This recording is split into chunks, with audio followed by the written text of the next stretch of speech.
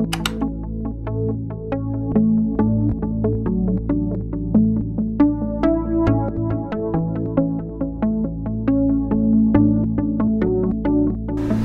hello, ni hao.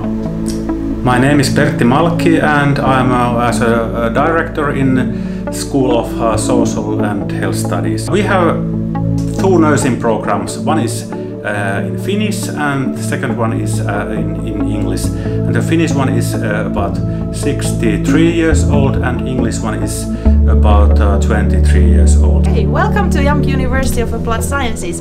We are going to see how our nursing studies are uh, conducted in different kind of teaching rooms. So the first thing we're going to see is our skill lab rooms where our students learn practical skills. At the moment the room is empty, but soon there will be a lot of people practicing nursing. So we have here our mannequins and all the cupboards are full of stuff that we need when students are, are practicing. Then of course we also have our simulator where the students can learn with a real kind of patients.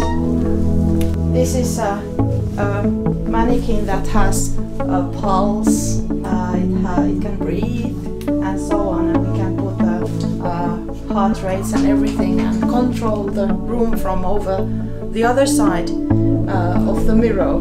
So this is uh, a classroom, uh, what we like a lot, uh, so we can do here group work, uh, can have here lectures, we can also send uh, the lectures outside, so this kind of a hybrid classroom. So it's very convenient for different kinds of actions and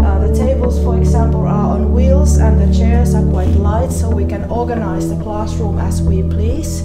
And also there's some curtains, so if we wish that, for example, somebody is uh, behind the curtains uh, to have a, a, little bit more private um, facilities for learning, so that's also possible in this classroom. So, so this represents like the best kind of classroom that we think for, for learning nowadays. We have so excellent nature here in Jyväskylä.